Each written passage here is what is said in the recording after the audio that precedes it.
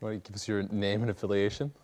I'm Josh Kopelman. I'm a partner at First Round Capital, a seed stage venture capital firm.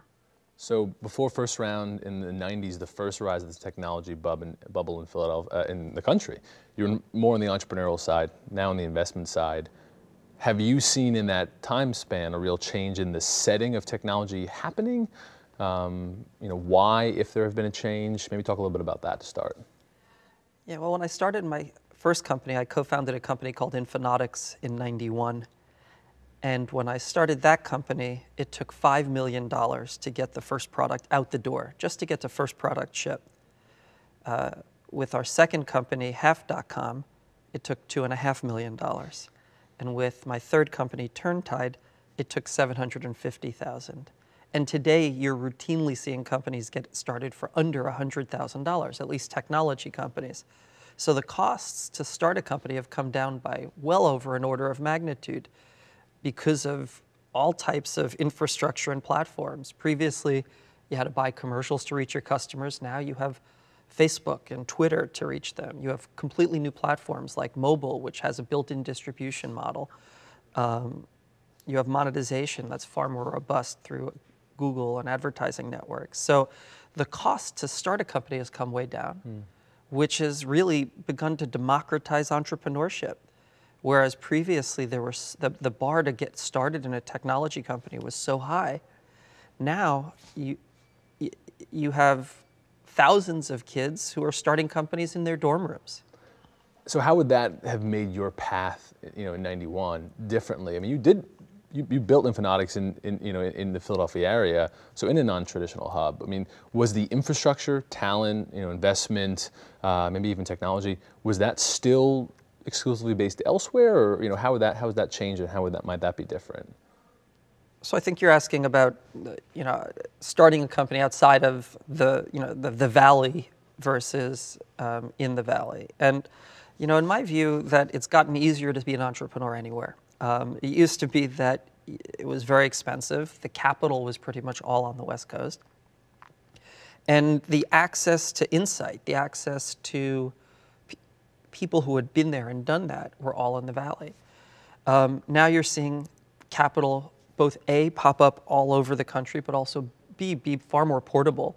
If you look at the last half dozen Philadelphia companies, for example, that have raised venture capital, they've raised it from firms primarily outside of the Philadelphia area, which is a great thing. Um, and you're also seeing that access to sort of the knowledge of starting a company has spread through whether it's through blogs, whether it's through Hacker News, whether it's through the internet, Twitter, the the the sort of the the the the things that people need to know when starting companies no longer are just contained in a few small gatekeepers in one area. That said, there might be certain advantages to scale and grow companies in ecosystems which have high access to talented um, people, talented, experienced people, uh, but, the, but those, those advantages are diminishing. So when you sit with an entrepreneur and he or she's from Kansas City or Chicago or Baltimore or Philadelphia or Las Vegas or does geography even enter into your conversation of understanding the company and its viability? Do we pay attention to geography? Sure, we pay attention to a lot of things. We look, we're assessing the founder, we're assessing the idea, we're assessing the market there, and we're also looking at their geography. Is this a geography where they have access to their customers? If they're an ad tech company, maybe they should be in New York if they're if they're selling to ad agencies.